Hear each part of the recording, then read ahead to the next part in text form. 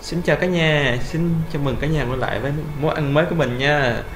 Mới, mới hôm nay mình sẽ giới thiệu với mọi người đó là món ăn tinh hoa của người Việt Gọi là món gỏi hoa ngũ sắc ăn với mực nướng.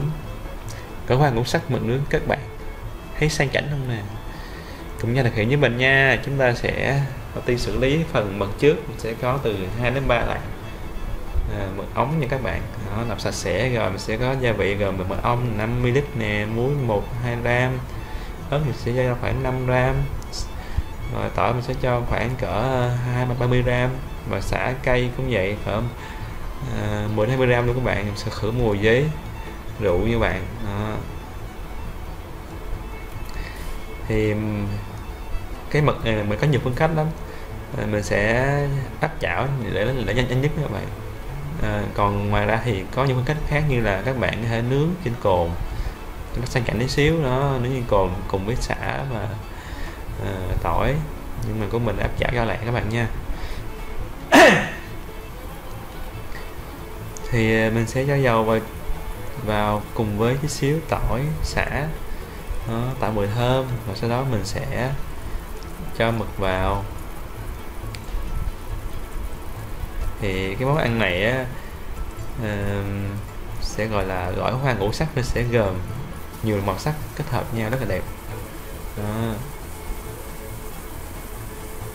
nên uh, cái món ăn này nó khá là gọi là gỏi khá là sang chảnh nên sẽ sử dụng với mực tươi đó, tăng cái độ sang chảnh hơn với lại nó phù hợp với cái món này hơn các bạn chứ không có dùng tôm hay là uh, kiểu bằng ba mấy cái loại mà gỏi mà hay làm trước đó. Đó này sẽ hay là chút xíu. Đó, các bạn theo dõi nha. Đó mình sẽ cho gia vị vào chung để mình bắt đầu mình áp chảo cho chín con mực nha.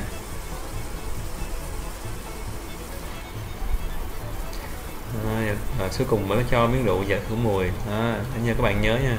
Rượu bây giờ cho sau cùng á khi mà các nguyên liệu đã nóng lên hết rồi đó chín hết thì rượu vào là khử mùi thôi chứ bạn cho rượu vào trước là cái như xong luôn tại vì nó bay hết mùi hơi rồi.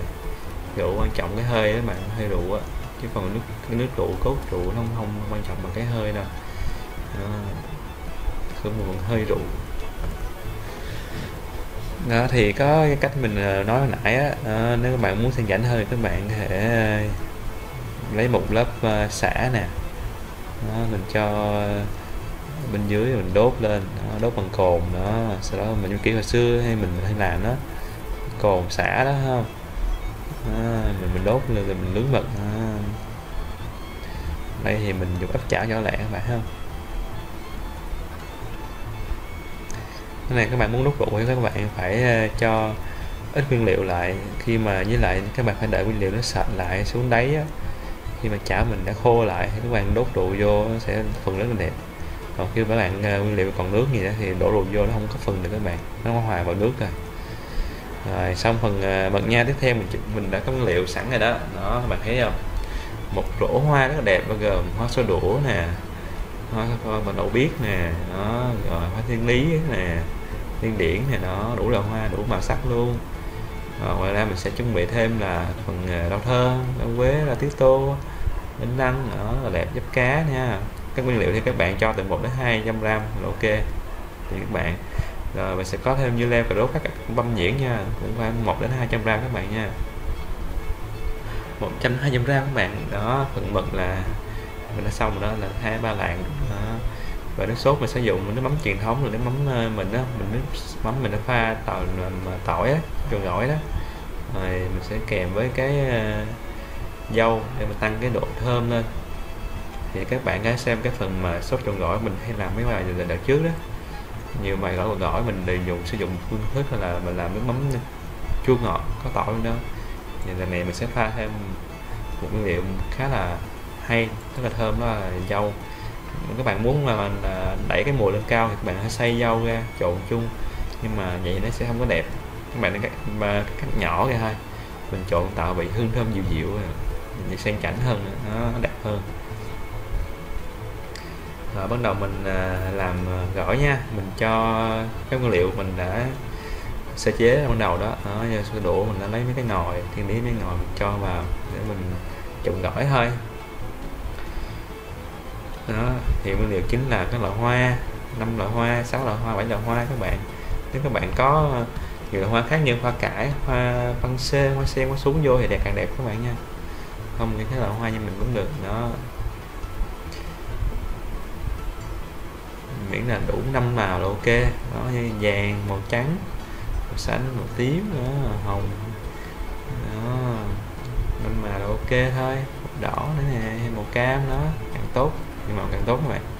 Đỏ hoa ngũ sắc nè đó, nhiều màu càng tốt. Rồi rau thơm để mình ăn cho nó dịu lại.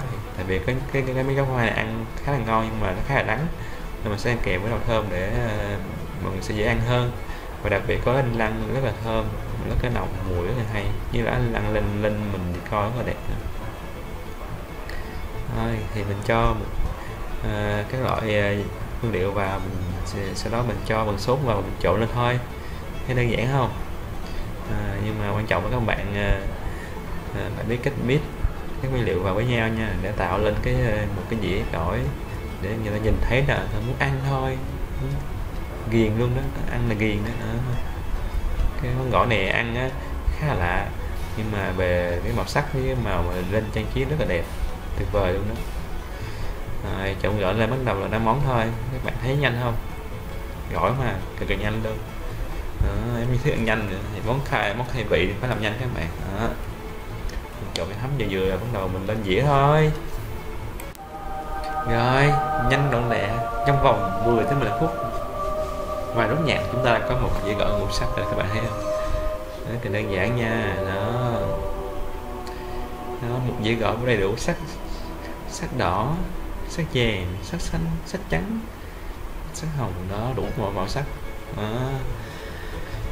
Ăn dừa có âu có á âu là là dâu nữa không? Đó, chua chua nè ngọt thơm thơm ăn thêm vị sực sực của cái vị hoa nữa nó nói chung thì ăn cũng giống như cái loại gỏi nhưng mà nó tạo cái màu sắc rất là đẹp, rất là bắt mắt các bạn. Nên món này là chủ yếu là để mạnh được phần decor, nó là lạ mắt, nó khá là hay. Chứ còn ăn thì sẽ nhiều người sẽ thấy nó có vẻ không hợp với mình lắm. Như ta quen ăn đu đủ quen ăn ờ, bông cải bông súng ha ăn củ hủ dừa những cái món đó thì ta quen rồi. Món này ta thấy lạ hay giống âu đó là nhưng mà decor rất là đẹp. Đầy đủ màu sắc luôn đó các bạn. Đó các bạn có thêm một thêm một, một chén sốt kế bên nữa để ta có thể trộn ăn chung nữa ở đây là mình đã trộn sẵn rồi đó mình chỉ lấy và ăn thôi. Rồi cái nhà thấy quá đơn giản phải không? Rồi, không gì thắc mắc phải không? Thì làm liền đi nha. Nhớ đó nha thực hành là gửi cho mình xem đó nha. Hẹn gặp cả nhà ở những bài hướng dẫn mới lạ đọc lại sao nhé mình sẽ cố gắng uh, à, sưu tầm những bài những món ăn mới cho mọi người. Mở đọc tầm mắt ra nha. Ai, phải hay được khẩu vị chứ mọi người ơi. Hẹn gặp mọi người ở những bài xa nhiên. Bye bye hẹn gặp lại.